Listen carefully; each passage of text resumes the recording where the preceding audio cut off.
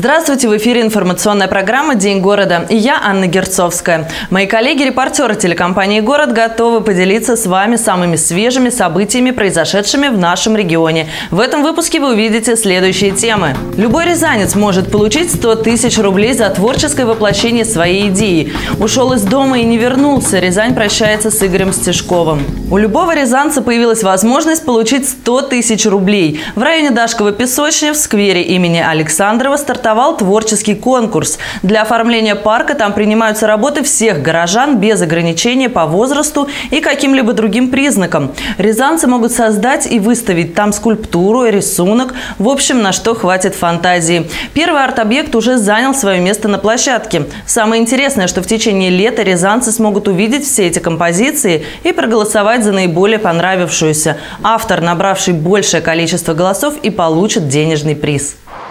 Здесь откроется новый парк с животными. На его территории-то и можно установить свои работы из любого материала – дерева, металла, пенопласта. Но авторам нужно учесть, что экспозиция будет расположена на улице, поэтому должна быть устойчива к воздействиям внешней среды.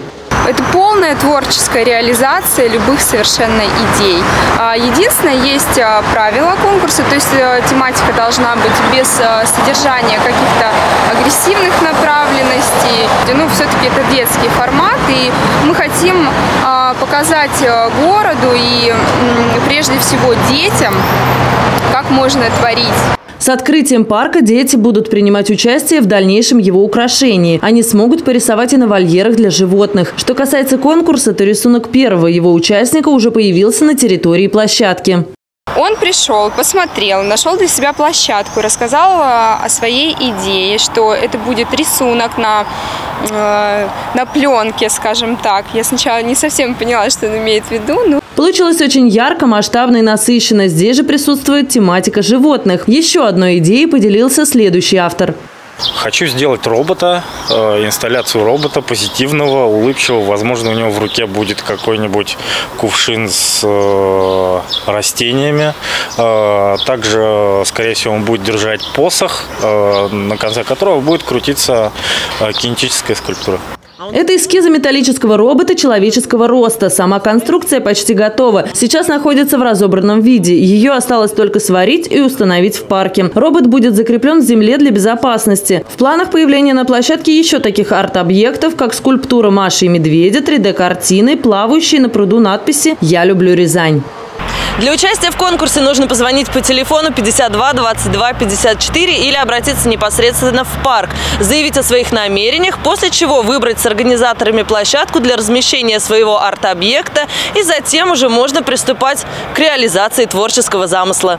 Конкурс стартовал 15 мая и продлится до 1 июля. Но поскольку открытие парка состоится в самом начале лета, то и голосование посетителей за арт-объекты начнется с этого же дня. Поэтому чем раньше вы выставите свой арт-объект на этой площадке, тем быстрее за него начнут голосовать.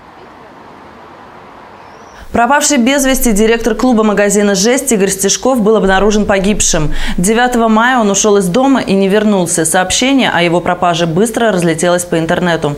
В течение недели родные Игоря приложили все усилия для его поиска. Подключились и сотрудники полиции, и многие неравнодушные рязанцы. Вчера вечером стало известно, что Игорь Стешков больше не вернется домой. Ему был всего 51 год. Мы ищем. И если потребуется, поставим на уши весь этот чертов мир. Не оставим камня на камне, лишь бы найти тебя. Мы тебя любим и очень переживаем за то, как ты там. Нам важнее всего узнать, что ты жив и здоров. Это цитата из письма, оставленного сыном Игоря Стешкова Константином своему отцу на стене социальной сети. Прочел ли Игорь сообщение, пока неизвестно. Сейчас следствие разбирается в причинах гибели мужчины. Вечером 17 мая 2016 года в реке Трубиш в районе улицы Лесопарковая города Рязани был обнаружен труп рязанца 1965 года рождения. С 9 мая мужчина находился в розыске как без вести пропавший. По данному факту Московским межрайонным следственным отделом города Рязань Следственного управления Следственного комитета России по Рязанской области организована и проводится доследственная проверка. По предварительным данным, мужчина утонул. Явных следов криминального характера смерти на теле не обнаружено. Сегодня все формальные и неформальные рязанские сообщества вспоминают об Игоре Стешкове. Помимо предпринимательской деятельности, он занимался развитием молодежной культуры, был знаменит своей активной жизненной позицией, привносил в наши будни здоровую долю эпатажа. Буквально месяц назад Игорь посетил нашу студию, где рассказывал о своей работе, о планах на будущее.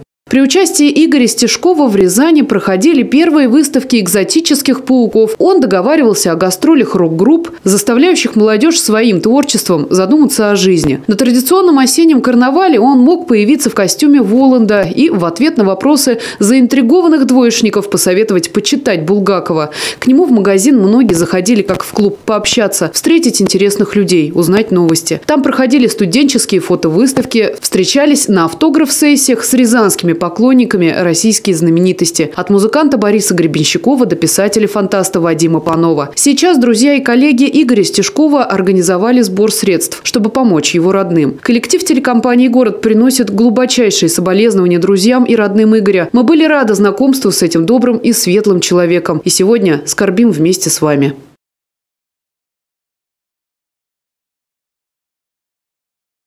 У рязанских водителей может появиться возможность бесплатно оставлять свои машины на парковке перед железнодорожным вокзалом «Рязань-1». В настоящий момент администрация города ведет переговоры о возврате бесплатного времени парковки с инвестором. Ранее находиться бесплатно на парковке можно было в течение 15 минут. В апреле инвестор отменил время бесплатной стоянки, уменьшив при этом стоимость парковки за час с 30 до 20 рублей. За период от 4 до 10 часов пребывания на парковке придется заплатить 100 рублей. Сутки обойдутся в 190 рублей. Для отдельных категорий граждан предусмотрена система льгот. Бесплатно пользоваться парковкой могут герои Советского Союза и России. Люди, награжденные орденами славы трех степеней, инвалиды первой и второй групп, инвалиды детства, участники Великой Отечественной войны, ветераны боевых действий, а также правоохранительные органы, экстренные службы, ветераны-чернобыльцы. Эта история сегодня больше напоминает вечное противостояние зимнего и летнего времени. Интересно лишь, почему изначально городские управленцы не смогли прийти к общему знаменателю с инвестором, не ставя при этом эксперименты на рязанцах. Продолжим выпуск. В Рязани борются с продажей сим-карт анонимным покупателям. По правилам продавец обязан указать паспортные данные клиента. Однако, как оказалось, сегодня в городе серую сим-карту можно купить по объявлению в интернете. Наш корреспондент выяснил, как ловит тех, кто распространяет распространяет товар на черном рынке и что им за это грозит. Сегодня в Рязани задержали одного из продавцов сим-карт. Сотрудники Роскомнадзора и МВД нашли объявление о продаже 26 симок оптом на одном из популярных сайтов объявлений – Авито. Цена – 1000 рублей. Несколько объявлений в разделе нашего города висит и сейчас. Причем в некоторых написано «Продажа без паспорта». Со слов задержанного, сим-карты у него от поставщика Росмобайл. Это сервис-провайдер, имеющий доверенность уже от сотового оператора. Но почему-то продавец не потребовал паспорта для оформления карт надлежащим образом. То есть то, что обязательно паспорт при этом должен гражданин Нет. предъявлять. То есть вы об этом первый раз слышите? Да. То есть оператор связи, который давал на реализацию вам эти карты, то есть вас об этом не предупреждал? Нет. Хорошо, я вас понял, спасибо. Поверить такому, конечно, сложно. Подобная практика существует. Только в этом году при продаже серых сим-карт задержано 6 нарушителей. Как оказалось, услуги нелегальных торговцев пользуются популярностью. Приобрести сим-карту анонимно хотят те, кто не собирается платить за потраченные минуты. Они разговаривают в долг, а потом выбрасывают сим-карту. Некоторые покупают серые симки по незнанию или из экономии времени. Мнения жителей о такой покупке разделяются. Если бы вам предложили сим-карту купить без оформления, без паспорта, вы бы согласились? Нет, конечно. А почему? Это дело серьезное. Нет. А почему? Зачем, если можно пойти купить с паспортом? Спасибо. Вообще затрудняюсь ответить. Просто бы купил. Просто так с рук? Просто без так с рук, без оформления. Нет. Почему? Не знаю, просто не купила бы. Нет, зачем? У меня есть, у меня хватает. Конечно. А почему? Э, это свобода э, выбора. Можно самому покупать сколько хочешь сим-карт без оформления. Мне кажется, это классно.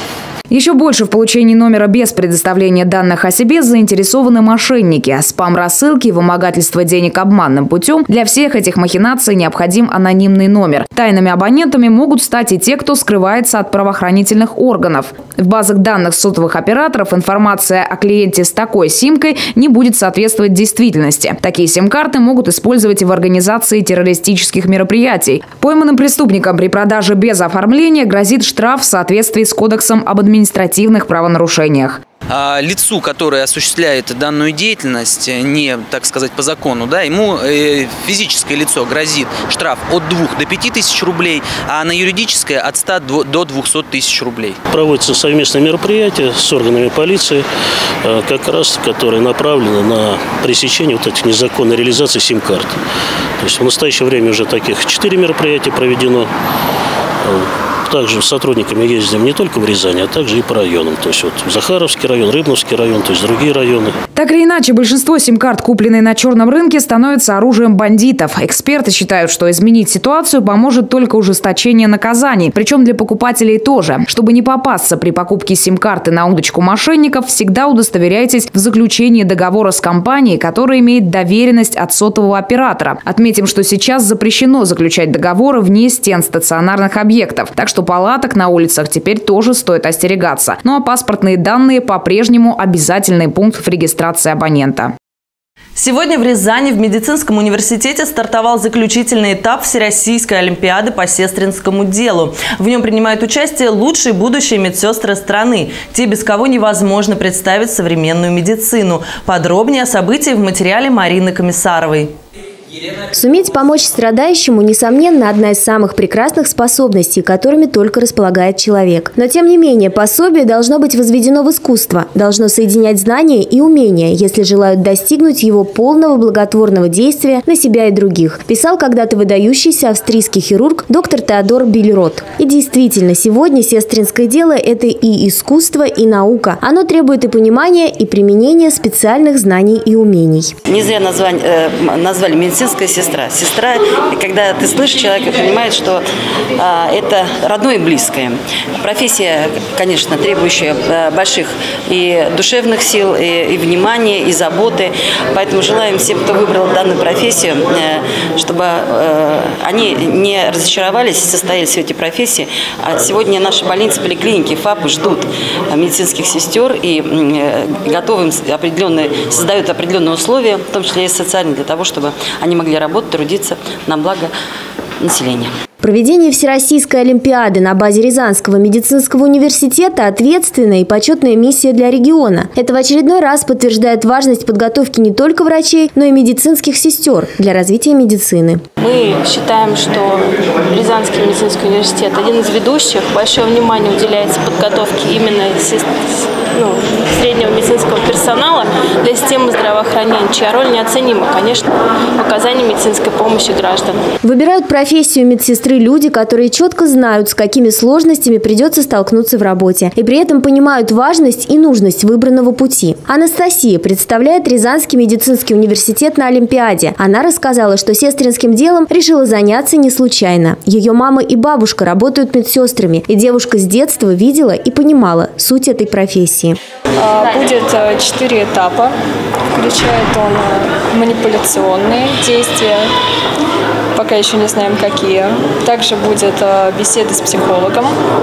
Это тоже как отдельный этап объяснения.